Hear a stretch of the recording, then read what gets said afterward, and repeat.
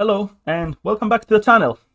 This time I'm actually quite excited because we are going to show a hero that I'm actually, no, I actually enjoy a lot and that hero is Enchantress, right? Enchantress is probably one of my, um, one of my favorite heroes. I really enjoy the hero. Uh, she's a little bit more difficult than the usual guides that we've made so far. For example, Crystal Maiden and Lion. And the reason behind that is because uh, she requires a little bit of micro, but I think that's not really a problem. I myself is, I think, most likely a Chen player, so that's why I got hooked into Enchantress. It's like, it used to be a little bit similar, so if you see, like, I have a lot of Chen and Enchantress games with uh, some decent win rate.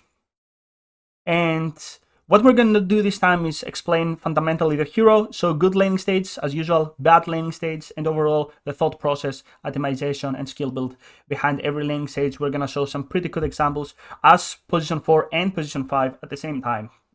Hi, my name is Jeff, aka Raza. Uh, I'm a 6.4k player right now in the Europe in the Euro bracket and my pick was 7k. What we do if you're new to this channel, what we do is we actually show examples of laning states and we learn about supports fundamentally and we learn how to lane um, as supports in the laning stage, how to approach laning stages and how we actually think. This time we're gonna show Enchantress. I think someone requested that and Enchantress is a type of hero that I definitely um, thing that is going to help a lot of players if you get good with a hero, right? It's a little bit more difficult compared to other supports, of course, but if you get good with a hero and understand the hero, um, it's going to be a great tool to get you out of the MMR hell that you have right now. In the beginning, it's going to be a little bit difficult, but hopefully by the end of the video, you'll be able to actually uh, lane as an enchantress um, and hopefully gain a lot of MMR. So without wasting time, let's start the guide and explain the hero fundamentally down side to side like a roller coaster. Alright, let us start the guide and as usual we're gonna start explaining the hero fundamentally to actually start to understand the hero. Okay, so Enchantress is a little bit different than all the other heroes we have seen so far. And the reason behind that is because itemization and skill build can differ from game to game. Okay, unlike Hoodwink, Crystal Maiden, Lion, Undying, you can get any build as Enchantress. For example, you can go for one for one build, you can start with Enchant, you can start with Impetus, you can start with Nature's Attendant. I've seen people going for 0 4 4. It highly depends on the matchup and what you want to do in the game. In the mid game, for example, um, we know what Enchantress is all about she usually wants to build items that she's not gonna get blown up, and then she's gonna restore health with Nature's Attendant. That's like the one variation, or the other one is just pew pew with Impetus, get something like a Dragonlance, BKB, and go a little bit more core. If you're lucky, get some Grove Bow as jungle item. And yeah, that's the plan. Like, also, if you play from behind, you usually go for full enchant, and then you just play push the creep, you cut waves. I want to say in the mid game, it is a lot easier to play Enchantress. The hard thing about Enchantress uh, are actually laning stage, at least in my opinion. Okay, so let's start breaking the hero. The first thing that you need to know is Enchantress is being considered to be a lane dominator. In my opinion, it is not. As I said previously, the hero is quite squishy. Um, she doesn't really trade well with any other support in 1v1, right? And she always needs to adapt to what is her lane partner, right? That's the first thing that you want to see. And the second one is to always see the mid matchup. Enchantress is a type of hero that can actually rotate a lot. Um, she has a level 2 power spike, like the enchant level 2. Big power spike because it actually gives you one minute to work with the creep rather than 30 seconds. And for example, if you're like from a really far camp, let's say you take a creep here or you take a creep here, by the time you're here, you don't really have a lot of time with enchant level 1. Um, and also itemization, Windlace, Blightstone, maybe some stats, maybe uh, none of the above, maybe even go for some like boots. If you're a position 4, you always need to adapt. Um, that being said, let's start with showing a little bit like the example number one. And here I play Enchantress um, as a position 4 and I get to play with Mars. Now, of course, I choose to go for Blightstone. It does makes a lot of sense because I get to play with Mars, a lot of physical damage. We can actually um, burst people down quite easily. And of course, I get to I know that uh, I play versus AA position 5, who is quite low armor hero. His uh, Ancient Apparition actually trades quite well with me, right? Uh, this spell is actually quite strong, a lot of damage, um, a lot of slow. so what you want to do, and we'll talk about that later on, is actually create two 1v1 situation in this lane. Anyway, um, Enchantress, the way to play the lane, you have actually two options, right? The what I say direct, where you just get Impetus and you just pew pew everyone and just shoot them, and the what I say indirect will, which we'll see more intense examples later on on how to play indirect, and I think this is the most solid um, way to play Enchantress. It does require a little bit of micro, but nothing, you know, that is uh, too hard. For me, the hardest thing about Enchantress is you know when you can get away with a kill, when you can actually disengage, and so on, okay? Um, so, the game starts, and what I want to do is abuse actually the fact that um, Enchantress has quite high movement speed. You can do the same trick with um, if you start with Windlace, but generally Enchantress high movement speed hero. What you want to do is to... Oh, fuck, that's gonna take a, a while h2, what you want to do is place a ward um, over here. Let's go like see that again. Um, you, you place a ward on the opponent's side and then you just kind of um, have two sentries to deward uh, if you get to see that they have an observer ward as well. Of course, two sentries is the way to go um, as Enchantress, even if you're position 5, because most likely this is going to be blocked. They're going to body block this one, so they will not, they don't want to give you uh, a you know a creep from level one. So the game starts. Um, I see TA placing a ward. Like this is like the benefit of having a an enemy uphill ward, and the game starts right now. Enchantress is a type of hero that, in my mind, is quite squeezy. Not in my mind, is quite squeezy. This is why items like um, and stats like I got Faerie Fire, I got Iron Branches. It makes a lot of sense because I'm not really gonna trade that well with AA, right? And but on the other side, I know that Mars is really good versus PL. So what I want to do is actually chase the enemy position five, even if I trade a little bit unfavorably. Um, chase the enemy position five and let Mars with uh, PL, you know, one v one, and that's really good with us because we actually scale way better than the opponent. So it's my like matter of time, matter of levels until we do that, right? So um placing the ward here, now that I think about it, um, this is something I didn't really like. Maybe I would prefer having it here. And nowadays I place it here, so I know if anyone is gonna block any of the camps, I'm gonna have vision instantly reward that. And look what happens. This is like a little bit of position 4. The way to win lanes, at least, you know, both side lanes is 2v1 scenario. Really strong 2v1 scenario. Whenever you find opportunity for two heroes to just gank one hero, you always take advantage of that.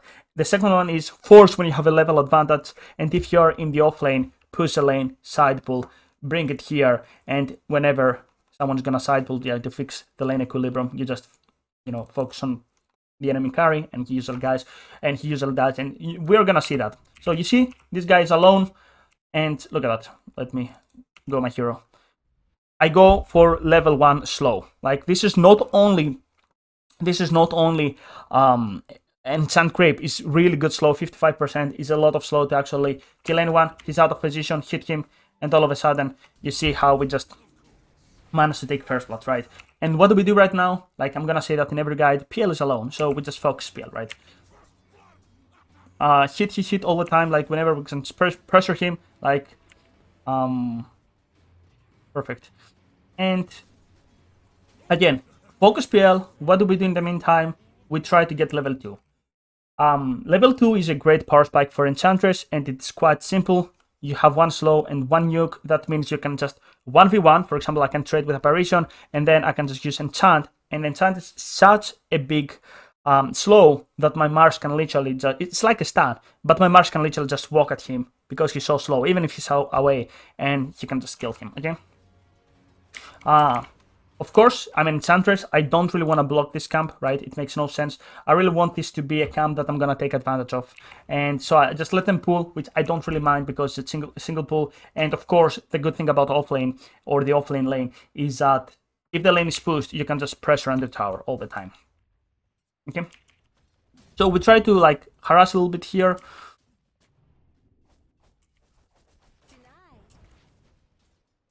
Perfect. And you see how I um I'm, I'm gonna deal with um AA. Now, what I want to say is Enchantress usually usually trades 1v1 not that great. So this is the first set of tangos, but if you want to bring another set of tangos, doesn't matter if you're post plus 4 or 5, the way you approach the hero or the lanes is literally the same, okay? Is is a great idea anyways to bring another set of tangos. And look at that. This is Harpy, probably the most broken, you know, 4 Enchantress N10 um, unit in the game early on. And look what we do. He wants to pull. I'm taking advantage of that and what's going to happen? This guy is alone. Look at that. This guy is literally alone. And you instantly, I, I want to see how you need to take advantage and give the call to your teammate. Um, you instantly switch and say, hey, this guy's alone. This is this is not allowed, right? Right? And he just dies. Simple as that. What did you do? You create two 1v1 you know the lane was actually pushed. This this guy had to actually pull and all of a sudden we just take advantage of that right? So um again what you want to do is whenever 2v1 you just take advantage. And the formula is the same again again. What's a good thing about us though now is that we are level 3 what does level 3 means? Level 2 enchant. What does level 2 enchant mean? One minute duration on uh, and like on the creep that means i can take something here here here and actually walk here or walk in the mid lane okay? Um, also since it is one minute creep something that you need to know is that you can have a creep and you can use enchant at the same time. So if you have something like um centaur or something like uh like the ursa um the, the ursa creep then you can just enchant. And then like it's so hard for the enemies to you know dodge the stun or dodge um, the slow from Ursa. Okay, perfect. And this is something I really want to mention as well. Do you see how the lane is being pushed? I'm like, okay, go aggressive. Like, go aggressive. Why not go aggressive? We even fortify to go aggressive and just let the creep actually do all the work, right? You see how just we're just playing under tower so intensely, right? And I really want you to see that because people think that the only option when the lane is pushed is to actually side pull, and actually this is the most solid and the most safe choice. You can't really go wrong with, you know, pulling the wave back, you know, by pulling. But right now, the other option, let's say you play something like a Wisp, where you have something like a headrest. You can go under tower, right? You're not probably not gonna die. And um, is the same thing, right? We just play under tower, real aggressive, of course have the creep, that's why Enchanter is a little bit unique on that, Look at that, all of a sudden, a lot of damage, a lot of damage on this PL. And this is the best part about this is that it is free. We didn't really commit anything. We didn't lose health. Sure, we invested mana, right? But I mean, this is what this is why you know mana is important. Why we you know you, you have to waste something. And all of a sudden, we managed to get this guy here. Mars dies, um, but I think PL already is in a really, really rough spot. And the more levels we get, my Mars is like full mana. And right now, again, I'm just dealing with, um, I'm just trying to deal with PL. And level 2 enchant, what does this mean? Get the creep, start rotating, okay? Look from where I get the creep. And that's really good, you know, that's really good. And now what you want to do is, this is what I say indirect. I don't really want to risk my life. It's gonna happen, you know, you might mess with micro, you might like think you're gonna get away, but what we try to do here is to make sure that we're gonna screw up with them just by using the creep, okay? Really important. Also, Enchantress, level 2 enchant, can take towers, a lot of damage, I'm just gonna show numbers, a lot of damage, a lot of duration, a lot of health, um, and yeah, uh, I think at this point we are in a really, really good spot. We have the catapult. Um, and we are about to pressure them, right? At this point, you know, Skywrath Mage rotates, and I think at this point it's really, really um, easy. You know, we're just gonna take the tower. Uh, at this point, you you might as well think that okay, um, you might you might as well think that uh, oh, okay, I need to get a creep, but when you see it, you can actually go and enchant a creep from the enemy creep wave, because what you want is the buffs from the creep rather than the creep, right? Um, at this point, you know, you move around the map, you try to do things, for example, um, like slow from enchant is so much, right? And um, it's basically stun, right? But again, I really want you to show that um, because you need to be really cautious with a hero, right? I go for something like Tranquil Boots because I know that this is not that great of uh, Enchantress game. Like, at least until I get my level 6, I die to everything. Minus armor here from Gas, a lot of damage, a lot of damage from um, TA, and make sure that you will never be able to die, or at least you'll be careful. Otherwise, you know, here I'm playing on the edge, and this is one of the negatives about, about Enchantress. You think, okay, I'm tanky. Not early on, just like Bristle, LC, uh, you know, Slark, uh, Huskar, these heroes, you know, are killable, right? I'm not that tanky at this moment, and this is what you need to be cautious, and this is one of the negatives about the hero, thinking that you're strong, but in reality, you're just not, right? Um, you see like how I just die here, but honestly, this type of deaths don't really matter just because what we want is our position 3 to be really strong. We are gonna find our value later on with the enchant, sieging, and um, I think for me, this is a really good laning stage. And lastly, what you want to do is, whenever like, if you're position 4 or 5, you just want to make sure that you're gonna have, you're gonna take the tower, right?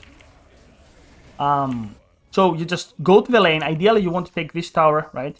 And again, I'm just showing here, taking the creep, taking the tower, right? At, at this point, um, we take the tower. That means my Mars can move, and I think it, this is a really, really solid laning stage for us, just because uh, we kind of got our levels. We're level 4, level 5. We're going to get Tome of XP. Probably we're going to go full enchant here, maybe level 3, and start getting our Nature's Attendants. Um, and at this moment, if you see net worth, I think we're in a really, really fine spot. I'm not saying that this lane is stomp, this lane at least. It's not stomp, but I think it's really, really solid. Uh, so the game plan for me is quite simple right now. Probably I'm gonna go full enchant and try with the Mars scrub with the enemy um, enemy jungle here, maybe take this tier 1, and what we want to do is create space for antimates, which is gonna be a little bit hard because um, they have a lot of health. It's a lot of damage that we need to output. So maybe this is one of the games that something like Force Staff or even Pike later on because they don't really have a way to get to me from in the backline. You know, they don't really have. Sure, you know they can just blink on me, but I think uh, they're gonna struggle if I'm a little bit tanky and have some, have something like a pike. They're gonna struggle a lot. Um, I think this is a fine laning stage to see how enchanters work. Um, and let's jump to a position 5 game that I think is also quite beneficial and I think is going to be really helpful. In the end, position 4 and 5 don't really make a difference, so let's jump into an example like that. Okay, this is game number 2 and we're to show an example as Enchantress position 5. Right now I have a Shadow Fiend as a position 1 and what I'm to face is a Centaur and a Rubick. If you don't know, this is like a lot of damage generally, so I need to be quite careful. I chose to go for a Blightstone and that is mainly because I get to play with the Shadow Fiend, okay? Um, that means a lot of minus armor. You know, if you get to play right-click Shadow Fiend in the safe lane, usually they go Presence of the Dark Lord. And if you are unfamiliar with that, and if you're afraid, you can also go for Windlace. It will not make that big of a difference. Starting items are the same as the previous game. I go for Blightstone and I go for one Sentry um, to mostly make sure that um, i want to make sure that at least one of the two camps are gonna be um, not blocked, right? Uh, I did see the Rubick there. Sadly, I didn't really get to see if he has something like observers or sentries. He left really fast. And pretty much the lane starts. As an enchantress, I really suggest you not to go for the rune unless you have something like a Juggernaut, something like that's really strong, maybe something like a, a troll.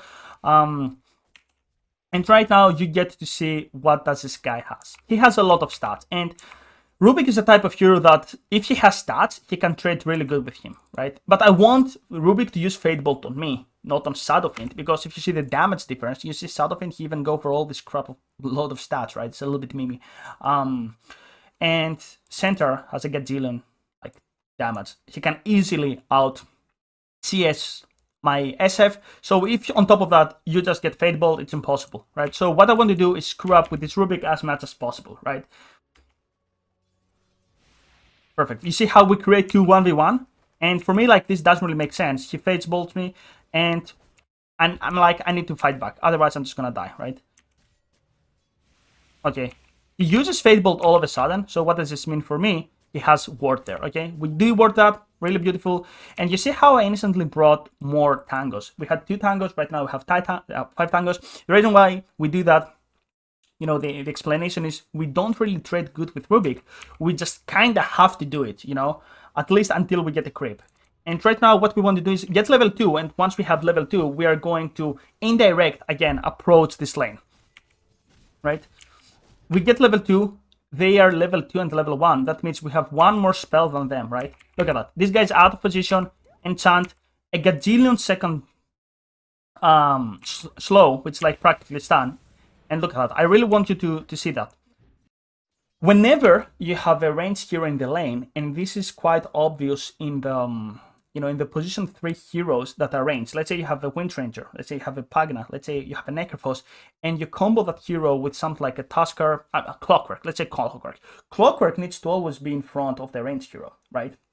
Otherwise, it's so hard for the ranged hero to tank two heroes. You need to always be nearby if you're position four. Um, to make sure that you're gonna protect your range position three.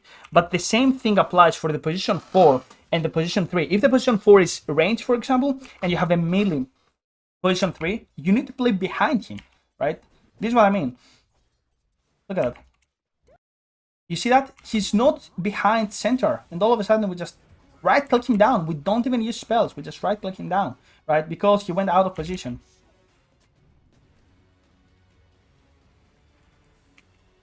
Perfect. Now, I get to, I'm gonna say some also enchantress tips, so I'm gonna take these golems. Golems is probably our best friend. On After Harpy, we live, we just love golems. Why is that? Because you can get to use stun, and whenever, whenever the duration from Mad Golem ends, you're gonna have two mini Mad Golems anyways, right? And you're gonna see what I mean right now. So you can also do a null trick where you just go to the mid lane, throw the ball, and then you just enchant a lane creep, and then the golem actually dies, and you have the small, the two small mini golems as well to use stun. With single pull, the reason why with single pull is what? Guess what? To actually bring the lane back and to actually force again the same um, situation. Single pull is our friend. Look at that. I'm just trading. I'm I'm really really careful, right? Look what I'm doing right now. I really want you to see that. Why can I play so cocky? Because I know that Rubick is still level 1. And also look look what happens with the golems. I'm just gonna show the golem duration. One second. Boom. And then I have the two mini golems. That means another 75 damage and another 75 damage. And all of a sudden, look how much damage I do to its Centaur. Right? All of a sudden, as a position 5. Right?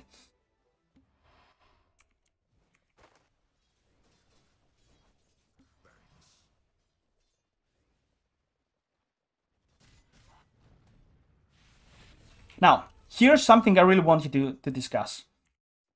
The lane is pushed. Now, I have two options. Either like, let's say, pull this one or pull this one if that was an option, or generally uh, pressure under tower, which like not that great. I mean, it's a Centaur into Rubick, right? Let's open the, Centaur into Rubick. And look what happens to this guy. I can't really do anything about that. Like, I know that this is a common problem about the position 5s. Oh, my carry dies when I go to pull. Well, you can't really do anything about other like the other option is to not do anything and the creep wave is gonna be here infinite right? So you can't really do something about that. Continue though. We get the creep and what we do is level 2 that means we wait for the enchant right? Look at that. We just wait. We casually chill right? And what we want to do ideally is to find someone to actually use enchant. Look at the Centaur. Slow and we just kill him. Out of position, 2v1 scenario. Rubick, we hit him, hit him, hit him again and again. Why? Because he's solo, right? And what do we do right now? Get the other Mad Golem, right? And again, Mad Golems are our friends, and look what happens. I also went for, apparently I went for raindrops, probably because I felt I'm gonna die. Um, and look what look what's going to happen. This is, I think this is how the, um, this game should end. I'm like 1v1, well, 1v2, sorry, and I'm just fighting them. And this is what I mean. Look at that.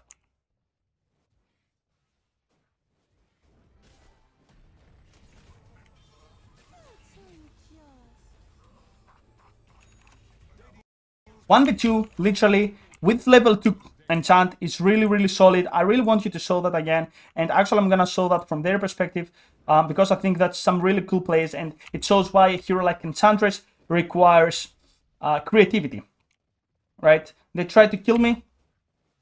I just enchant. I use both, like I hit both of them. I get the XP, I die, but then it just doesn't matter, right? And then we just solo kill this guy, like the creeps. I think it's really beautiful. In the end, if you see the net worth, we are doing insanely good, insanely good. I'm just gonna show one more minute. Um, and the good thing about Enchantress is that, you know, you don't really require that much consumables. You can go for something like Boots as long as you have mana um, to work with your enchant and your impetus because impetus actually is a lot of mana. So I don't really suggest, um, you know, using it that much, you know, casually. At this point, I think we are really good. Um,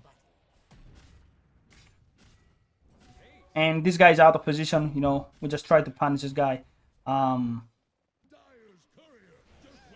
Shadow Summon comes, I think this laning stage is by far one.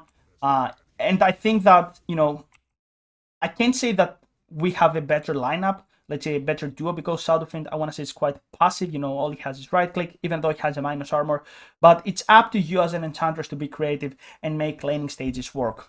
Let's jump to another example, though, to see sometimes you have to be even more creative and um, we're gonna see another way that you can be creative you know other ways other examples that you need to you know work yourself work your mind to see how you can make this landing stage work. So let's jump into that and see what's going on. Okay. This is example number three and this is enchantress position five right? This is one of the games that i'm actually really proud of um, and really happy with the outcome because it was a really hard lane, and I feel like a solo on this, so I think it's quite good, and I feel like I was quite creative. Okay, so I start with Blightstone, and um, I know that I'm gonna have OD, enemy OD as position three. I have the last pick spec because we knew we are gonna have Tinker. They're gonna have Tinker. And the reason why I go Blightstone is not because it makes sense on OD, no, just because I don't know what is their position Four, but I know with both the heroes that they have low armor. So what I thought is maybe trade. You know, I'm not really. I think I'm gonna trade really well with Wyvern because Enchantress actually trades way better with Wyvern. I'm gonna be a little bit in position. I know that my spec is not really gonna have that good time, but once I have level three, um, you know, maybe I can enchant or actually level two. You know, I'm gonna enchant someone. Uh, we're gonna have we're gonna use dagger anyway on um on the wyvern or the apparition. We're gonna find the kill, right? So uh, I place to have a, a ward here to see, you know, what's going on here, um, to have a little bit more vision. Uh, I like these wards generally here and here because I get to see right now if they're gonna block this camp or this camp a little bit. And the lane starts, right?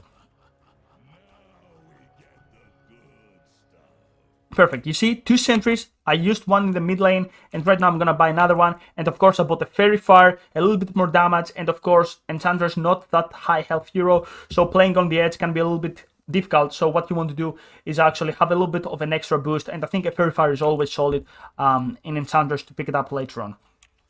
Okay, so the the game starts, right? So what I want to do is play on this side of the map. Usually, if if they if they had something like Spirit Breaker, Clockwork, Tuskar, usually they were to be the ones that they're gonna play, play here. And if that was the case, I would probably have something like Windlace to make sure that they'll never catch me. Maybe right click them, or maybe even go and focus OD, right? And I go for Nature's Attendant level one. I really want you to see that. I feel like Impetus, I'm not really gonna do that much, but with uh, Nature's Attendant, I can actually make something do because I know that my right click matters, but look at that. One hit from OD and I, am out, right? It's simple as that. I really want you to see that. Boom, like 130 damage. It is insane, right? So at least Nature's Attendance level 1, I'm just I'm just using my right click as a resource of damage. It's I really want you to understand that every right click matters in this cancer matchups, honestly. This is like OD players. Like it's so hard, right? Look at that. This one is blocked. I'm fine. I'm like, okay, finally, I'm gonna right click this guy. And what do we want to do right now? Get our level 2. Get our level 2, of course, right click as much as possible. Right? Once we have level 2, then maybe, maybe we can do something right now. Right clicking, and how, why do we play so aggressive? Look at that. Why do we play so aggressive and we trade inside the creep wave? Because I know that OD is alone right now. Do you see how I know like Wyvern is here? So I'm like, okay, right click as much as possible, be aggressive as much as possible because we are not gonna have a lot of opportunities. I'm gonna be honest, the more levels both of the duos get, the harder it's going to be. Okay? And of course, um, side pulling here, get level 2, and right now get the creep. Get the creep with the biggest nuke and of course start using it, right? Double the spell here, like whenever you find opportunities to use one spell that's gonna actually harass two enemies, go for it. And look at that, I'm just, I know that OD is not that great versus Enchantress, right? Because OD usually struggles against summon units like Wraith King Skeletons, Lycan Wolves. He struggles in the lane versus that. And look at that, I'm just trying to be aggressive with the hero. In the meantime, uh, with a creep. In the meantime, with my main hero, I'm just side pulling and um, I'm just trying to keep them busy. And I think that's really good. I'm gonna show CS. I think we're doing actually fine. This lane, we even get the kill. This lane that's supposed to be really, really, really hard. And I really want to go back to actually see the whole process. We get the creep. One. We, you need to micro that. Two. And you just hit the wyvern again and again or you just hit whoever you can because this lane that even if it goes even, it's like we won, right? If this lane actually goes even, we have the same gold. It's actually won. And of course, we right click out of position Wyvern and we just find kill, right? Really, really, really good kill here. And of course, what we want to do is get the creep level 3, that means level 2 enchant, and all of a sudden I have a whole minute. Before I had only 30 seconds to make something happen. Right now, I'm actually so chill, I'm like, no. It, it's so easy to play right now, okay? They, they, they have to pass this creep, right? There you go. Let me let me show you what's going on again. They try, let's go a little bit back. They try, I'm, I'm gonna like play, play it slow. They tried to hit me and okay, I really want, what I'm, I was trying to do is actually find, uh, because I know Wraith King is really good versus OD, just because it has a skeleton, it's just too much damage. What I try to do is actually create skeletons. I'm like, I'm gonna create the same scenario with another hero. So what you want to do is like, okay, uh, that's not gonna happen, too much damage. And all of a sudden, you know, net, hit, hit, and, and of course, and he's dead. Simple as that. I was really happy about this lane stage. You know, I'm like, okay, we're doing it. And of course, what do we do? Pull the crypts back and create, if, if I can do it, please, uh, and create the same scenario. And you see how we just casually harass. Every right click matters. Now we get Centaur, we're gonna work with the Centaur. Now someone might say, but Jeff, you know, they didn't block this camp, they didn't block this camp. Okay, if you're level 3, you can work with this know, creeps. If you're level 2, then that's why you need the sentries, to unblock one or the other. You need something to work with. If that doesn't work out, maybe you even go, let's say I went for a Nature's Attendants level 1, maybe you go for Impetus level 2, but I don't really recommend that. I want you to have a level 2 enchant by level 3. I think that's really solid. I'm pulling here. In the meantime, you see how I'm just checking with my Centaur to play aggressive. The lane is pushed, like you see how the lane is pushed right now. And on top of that, we actually pulled. So in the end, what I want is my spec to actually farm um, under tower. And I'm just, I, I want to create that. I want to give my spec free farm, right? And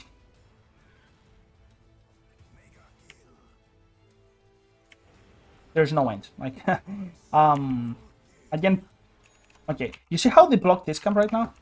I'm like, this block this camp. Okay, Right now, I'm just gonna work with something else. Now, you have two options. You can uh, either go for that, Mana Burn, which is okay. Most likely, I'm gonna use it on Wyvern because, oh, they can, you know, um, generate mana. Or you can go for something like Purge, which I think is it's also really solid.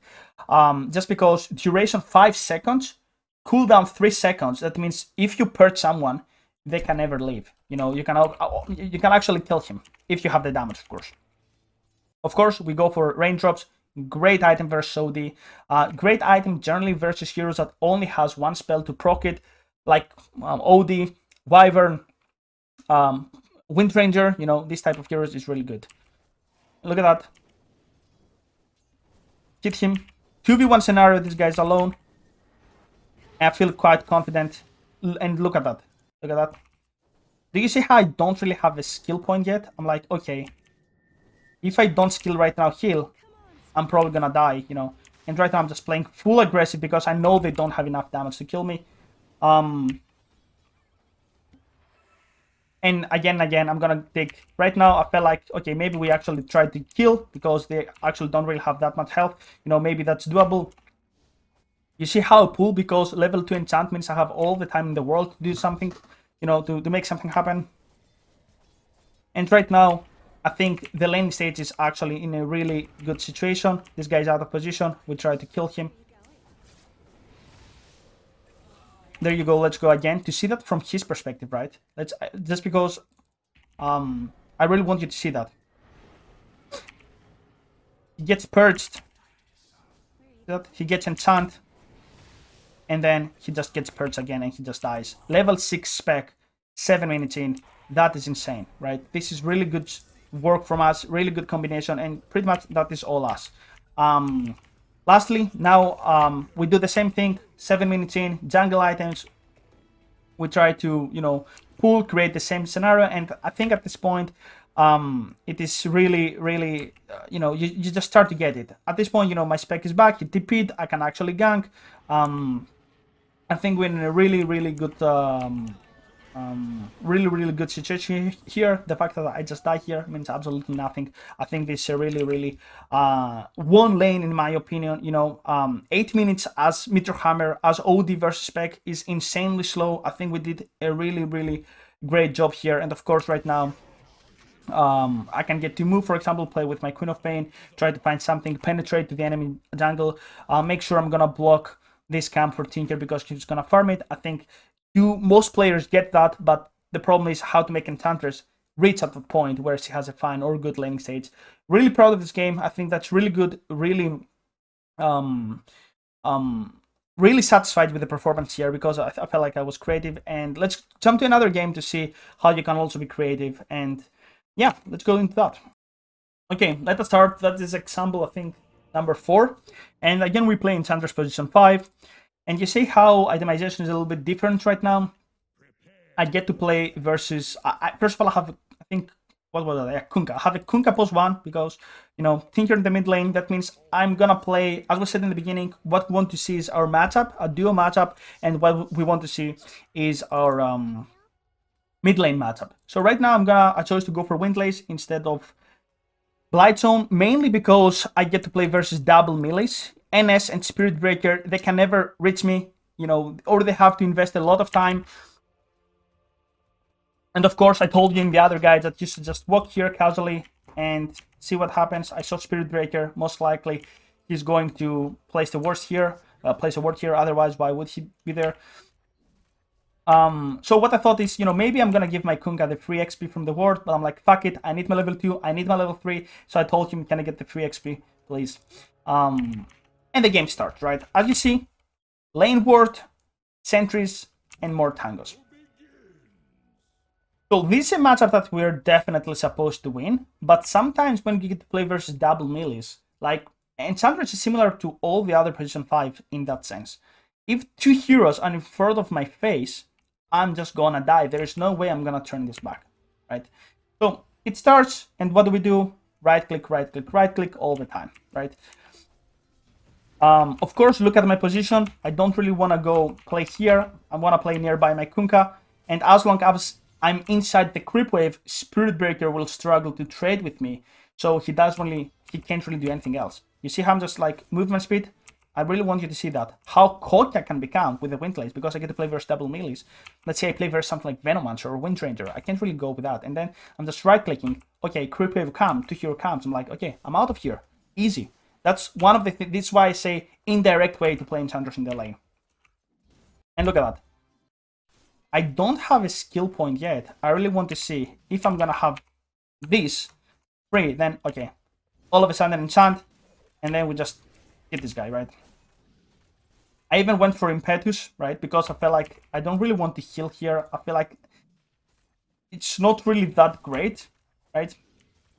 Um, it's not really that great because I feel like I need more damage here to deal with these guys, right?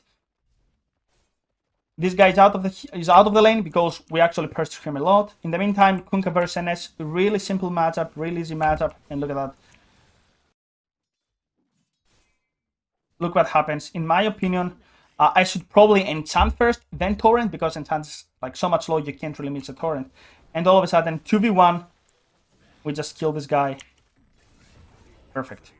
Perfect, perfect, perfect. Okay. Trying to stack this one. Why do we stack this one? Maybe we find the Harpy that we said in the beginning.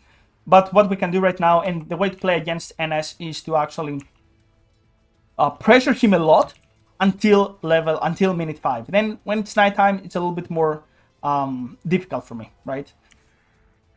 So you see how I'm, I'm gonna like Uh, grab the aggro again and just deny as much as possible because I want a level 3. Do you see, I really want this creep. I really want this creep, but I want to have it for a whole minute to work with. So maybe I'm gonna be level 3, use enchant level 2, get the creep, wait for the enchant cooldown, and find the kill, okay?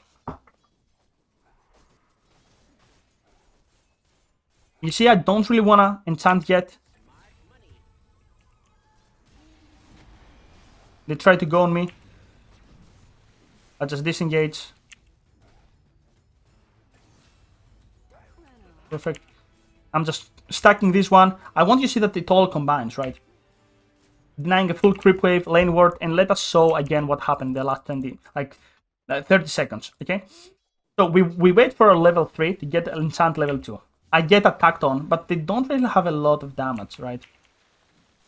I go for enchant level 2 here, you know, I'm thinking, I'm thinking about impetus. I'm actually thinking about it, right? But I'm like, it's not worth it because level 4 is way far ahead. Okay? I went for the kill there, didn't work out.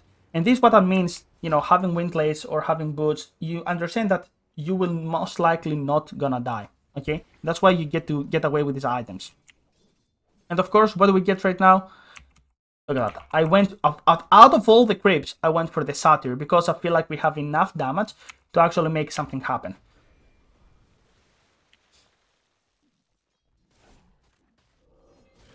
Perfect. Do you see how they just go on me? Look at that.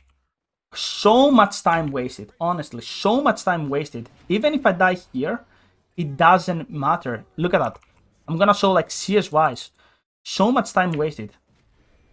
I think I probably could have played a little bit better, like, um, you know, being great there and turning back. But look at that, so much time for my Kunkka to actually farm, right? They're just wasting so much time. And just to get what, like 150 gold, 200 gold, just doesn't matter. Going back to the lane, guess what we're going to happen? Yes, I know it's um, nighttime, but I feel like we're quite far ahead. I get in the creep, X, 2v1, and look so much damage.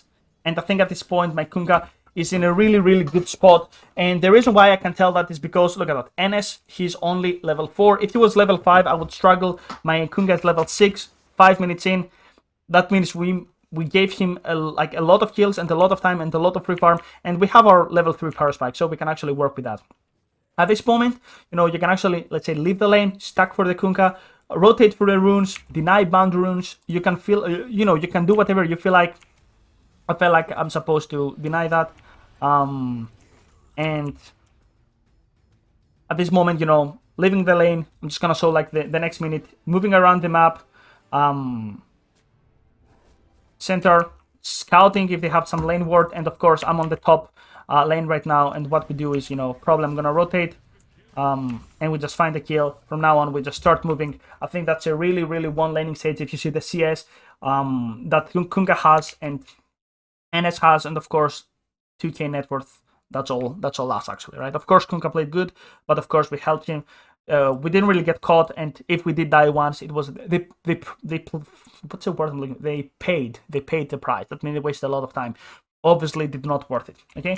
Um let's jump to one last game that i think is also really solid. Uh, we get to play versus viper position three which is really really hard as a matchup.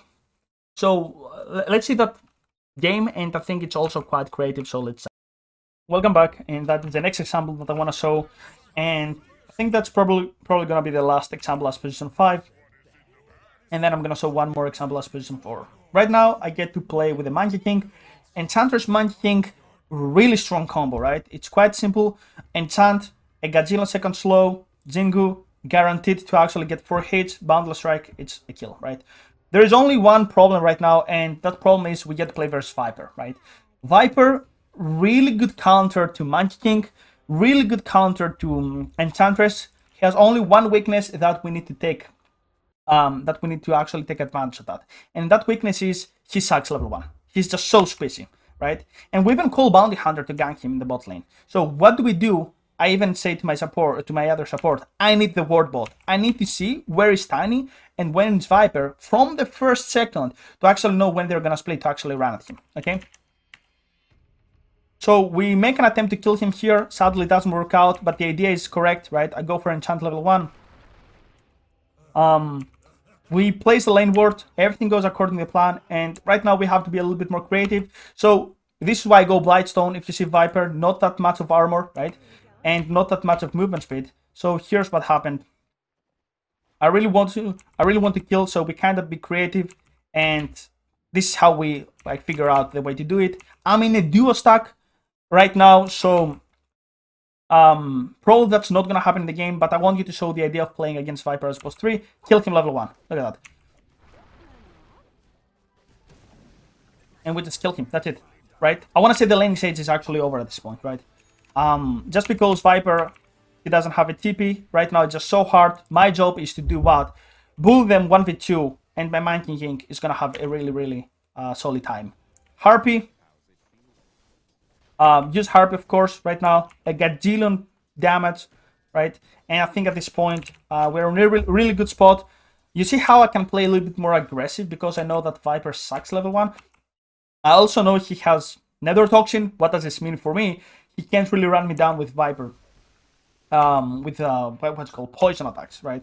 And that's why I can actually go a little bit more aggressive into the creep wave. We have the level 2 power spike. They're still level 1, so I can go full aggressive and I think that's really solid. Of course, important to mute uh, guys that don't speak English. Uh, really solid advice, you know, 6k advisor, how to be immortal, mute uh, non-English speakers, right? At this point, you see how I'm just playing here? Look at that. How aggressive I'm playing, and I really want you to see that. If they were level 2, I was dead. But I know they're level 1, I know he has Nether Toxin, and I'm thinking, okay, what's the worst thing that he has he can have? Like, even he has Toss, like, he can toss me back. It doesn't matter. He has Avalanche. Okay, most likely I'm gonna survive. And right now, we just run him down. Enchant. Leave the kill to my carry. At this point, I think I'm really good. Um, all I all I need to like be careful about is to bring more consumables and to actually make sure that we have a lot of health.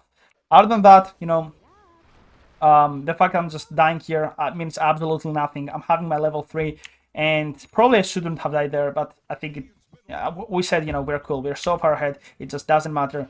Um, getting my level 3, and right now, you see, I can go to this camp. Doesn't have anything interesting. Um, I'm so I'm just gonna pull this one. Um, ideally, yeah, I should probably take that using the Weirwood, and then yeah, that's it. I think that's really good. And look at that. I really want you to see this one last thing. See how comfortable I'm playing. I have a toss, but they have nothing.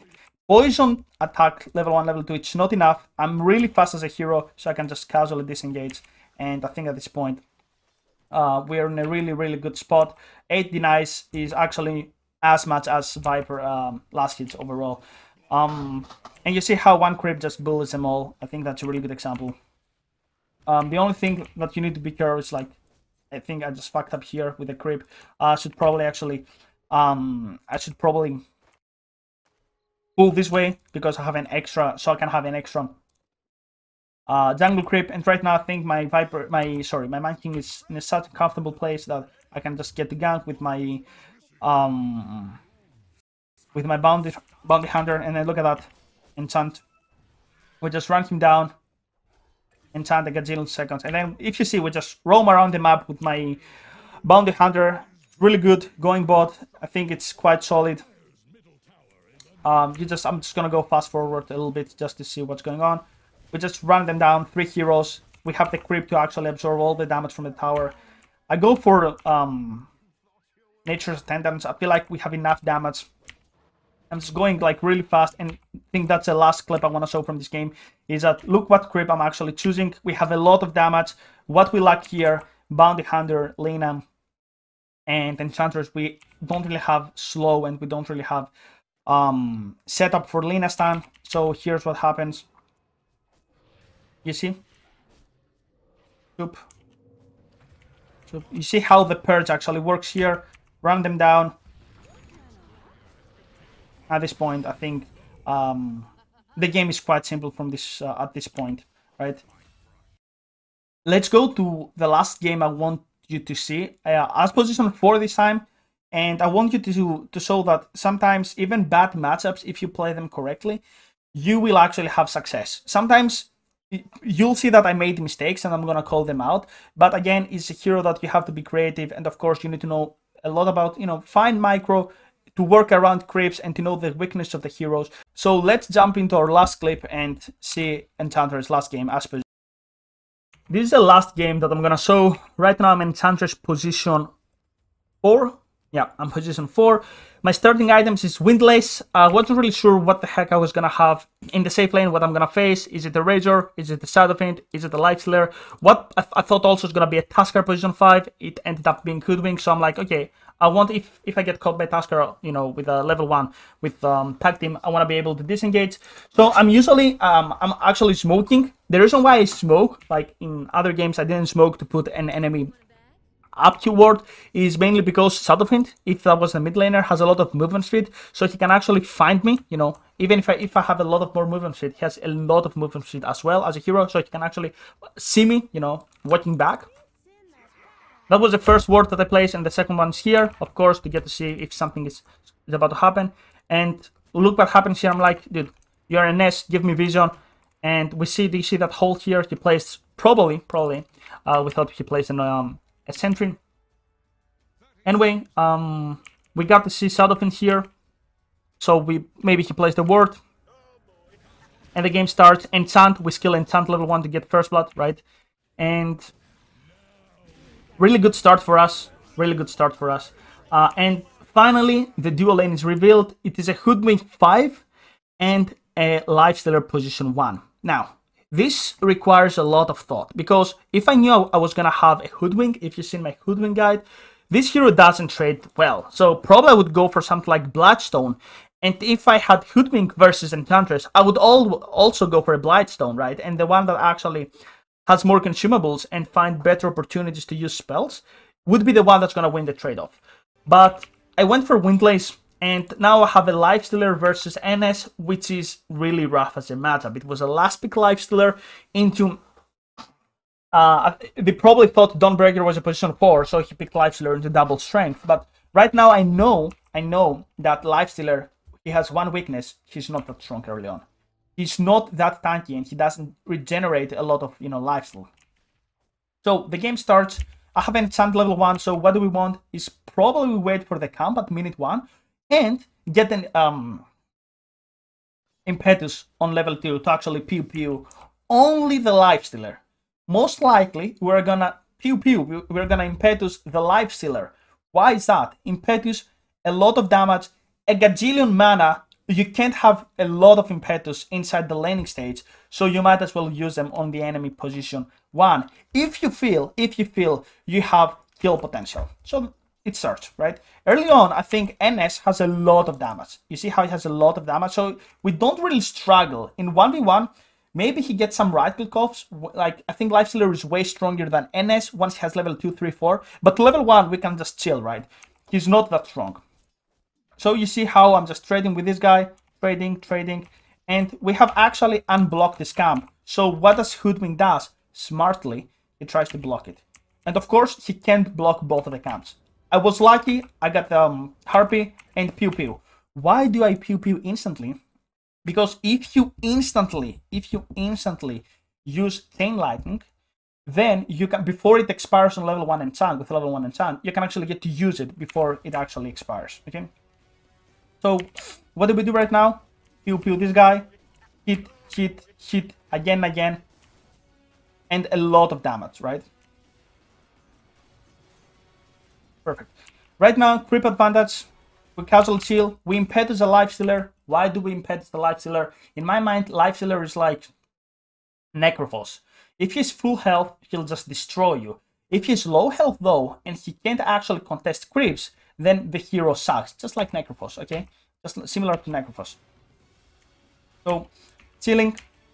I'm trying to stack this camp to see what other um, creep might spawn here. Smartly, this guy goes for scary, you know, to actually block my camp. And here's what we do. Golem. Golem, our best friend. And here's what happens. Hit, hit. In the meantime, if they were like smart, they would like they should actually focus on my NS here. Look at that. Like this guy is alone, right? He should just start running and just focus this guy. He's alone. I don't know why they don't do it, but this is how you win lane. You, you, you actually win lanes. Right? I'm back with the golem. And of course, Impetus always on the life stealer. Pew pew. Throw rocks on the life stealer. And then I want this... I don't mind if this script dies because it has a small duration, right? So before it dies, I can actually, like, let's say, feed it a little bit. It's not that much of gold, right? You see how I carefully do not feed it? And look what happens. Boom, one rocket, and then this guy is actually low health all of a sudden, right? And right now, here's a good part. With all this space that we created, what does Hoodwink forgot? We actually got this camp. Now, we have this Wild Wing um, thing, I don't know how it's called, with a Cyclone, which I think is probably one of the worst creeps, if not the worst, right? But, you know, I, I got lucky, Harpy, Golem, you know, I can't actually complain. So you have to work with what you have, and right now, look at that. I said, okay, I'm just gonna throw that on this um, face. I don't really mind because the lane is being pushed. And here's what happens. This Cyclone follows the um, follows um, life Lifestealer. And I felt like NS was a little bit mad. NS was a little bit out of position. And look at that. This guy's totally out of position. A lot of damage.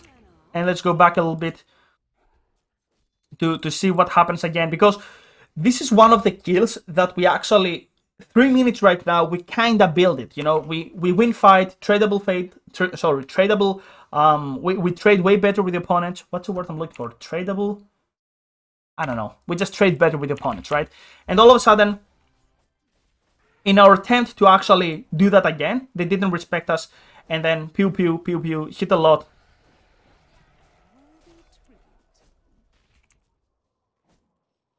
and then he just dies, right? Of course, look at us as well. Verifier. Enchant. Verifier. I went too greedy here to hit. Doesn't matter. Got the XP. Got the kill. And as we said in the very beginning, you want to see two things. The matchup in the offlane or in the safe lane, depends on what you are, and the mid matchup. And it is Queen of Pain versus Shadow Fiend. If I enchant and poison dagger, dagger poison, poison attack, what's called shadow strike. Oh fuck me, man. Then you uh he can't escape. There's only one downside. Queen of Pain, dude, just get level 2 dagger, you play very Shadow Fiend, and you have an enchantress, right? Here's what happens. Um TP right now, bottle, you know, fill his bottle. And I felt like you have two options right now. I felt like I didn't really perform that well in one minute it's nighttime and I felt okay nighttime I can actually make something happen so I just rotate in the mid lane I don't know what was that actually let's go back to see my Queen of Pain here okay um anyway I felt like he could just wait a little bit I'm coming from behind I get the kill, uh, like that was not the best from Queen of Pain. What can I do? Free XP for me. You see how I keep the skill point? I'm not really sure what I'm gonna need. And right now it's nighttime. I have two options stick to the mid lane, which I felt this is what I was supposed to do because Life Stealer is not that great of a hero versus Terrorblade. But, you know, if it's a magical side of him, then maybe he, as it was the case eventually, then he just blew, he's just gonna blow up my Terrorblade, right? So I felt, okay, focus this guy, it's easier to kill a Shadowfiend with a Queen of Pain rather than a Life Stealer with NS, even if it's nighttime, right? I die here, but the plan is, in my mind, make sure that this Shadowfiend is gonna have a hard time Um, I feel like I just kind of abandoned my NS in the top lane, but you see how every move I do from now on is uh, to, to shut down the Shadow Fiend. I don't really care about Life Lifestealer, right? I mean, I have Queen of Pain, I've done I have heroes you know, it's a fine Life Lifestealer game. It's not that great, you know, but I feel like Terrorblade is really good. Um, so I feel like if the carry matchup is good, I might as well shut down the only hero that's good versus my carry, which is Terrorblade. Kill this guy, and right now we just move around the map, you see. I have a lot of time. I know that this guy doesn't have TP because we just killed him, right? Um, so I might as well just move to the top lane, and this is where we screw things up. In my mind, it is too late to do that. Honestly, just too late. Movement speed, I feel like so bad execution from both of us. Because look at Hoodwink here. Um, I'm like, um, we can kill him in the meantime. Like, so bad coordination, the two of us, we just fit the skill. And I realize right now, you know, fuck that. Focus SF, you can't really go wrong with Shadow Fiend. Um, of course, here bad execution from Queen of Pain as well. Um, but look what happens is that we get to play versus... Uh, actually, we get to play against a hero but we need to shut down. And on top of that, we are good against, right? Um, I want to say, mention that something that, you know, Infest is... Um, you can just infest my creep, so it's a little bit too hard to also play Enchantress versus um, Lifestealer. And right now, it's quite simple. Move around the map, get the creep, make something happen. I have a Terrorblade, great hero to sit. So, we just move. Look what we take. We get take the Troll. Why do we take the Troll out of all the creeps? Skeletons can push waves and can push the tower. And on top of that, Net is really good with Terrorblade. We net him, and this guy's dead. And what we try to do is take the tower. I think this is a fine game um, to make Enchantress work, and I think this is not a great of an Enchantress game just because Enchantress really struggles against high magical heroes, Hoodwink, uh, and Shadowfiend are two of those. So, I think that's five or six examples. I can't actually recall that I felt are really good ways, you know, because you see that they feed sometimes, you know, but in the end, the important thing is to make a hero work taking the enemy towers, rotating, shut down enemy heroes, is a hero that actually scales really well in the mid game. Um, she, I feel like she's not that lane dominator compared to something like Crystal Maiden and Undying. Enchantress, you know, you need to be more creative, you need to be way more skilled to make this hero work. Um, and let's talk about mid game. Mid game, you will either go for the direct, which is like Of pike and maybe Axe, maybe something like Dragonlance Stretch and Pew Pew everyone if you feel like you need damage, or you go for the indirect, that means Glimmer Cape, Force Staff, uh, maybe then Tranquil Boots, something like, uh, you can go for something like Mage Slayer, for example, um, and Lotus Orb, something that's utility and go for full enchant, um, and just, you know, cut waves. Um, one, one thing that I didn't really mention is Enchantress is really good Roshan hero because he can actually get to tank, right? So let's go a little bit. Um, I think that's a moment where we actually, I said, you know, um, can we actually try Roshan? And all of a sudden, here's what happens. Um, can we just go on Roshan? Where is it? Roshan. I think at some point, yeah. I have the Force Staff. I think Force Staff, and right now I say, please, come on, let's go Roshan. I got this creep, a lot of armor, really good versus Roshan, you know, 5 armor, I think it used to be 8 or something, maybe I confused it with late. And all of a sudden we just go Roshan. Um, also, if you, for example, Enchanter is really good with Ursa, because it also gives Roshan a tent, really good with TA, because all of a sudden I can just tank Roshan. I think that's really good example as well. You, um, really good example to show why Enchantress like really solid pick. Um, in the mid game, I think and Hero is quite solid, quite easy to play way easier in the mid game because you have a lot of more levels to work with. All you need to do is make sure that you don't get blown up by enemies you know Skywrath Mages and stuff like that. You might even go for Ghost Scepter if you get one-shotted by something like Templar Assassin or PA. And yeah, that's a guide. I think that's really good, solid laning stages. Both won and lost, in my opinion. That um, is it's you know really good examples on how to play the hero. Let me know if you have you know for you know, firstly, thanks for watching. Uh, I know that's probably gonna be this is gonna be a really long video, probably plus one hour. But you know, Enchantress is not an easy hero to play, so it requires time and a lot of a lot of effort. Uh, before I close the video, you know, thanks for watching again. Um, please, you know, do subscribe or anyway, you know, like, comment, any interaction with the video to know that you actually paid attention. That um, this type of guides actually do require a lot of time, a lot of energy and effort, and you know, a, a lot of coffee. You know, as you see, and um, if you want to see future guides, you know, please comment below, and you know, you can of course type your, you know, maybe comment on the hero that you would like to see. I know that we get to see my games personally, and this is why I can give you my thought process. It's so easy to, you know, watch a pro player and say, hey, this is why he does that, and you know, justify everything. Um, you know, you know, just you know, how can I say that? justify everything in a positive way. This is why he does that, and this is why he does that. But only if it is your games, you can know if you did something good or bad, intentionally or accidentally. You know, it's something just happened. And I think that this is why I want to show multiple examples on how to approach a laning stage, just because I think if you just take one game and you just make it a guide, probably that's not gonna guide. And this is one of the things that I struggled the most when I was, you know, ancient, you know, and was stuck there for years, you know, one game, make it guide, probably didn't really work for me. You know, I was taking the game, I was taking the tips. For some reason, didn't work out in my games, and I feel like this type of videos that I haven't really seen anywhere. Anyway, this type of videos that uh, would be the one that would benefit me the most to grow up as a player and get out of my MMR hell years ago. Thanks for watching. Uh, hope you enjoyed that. GG and I'll see you on the next video. Bye.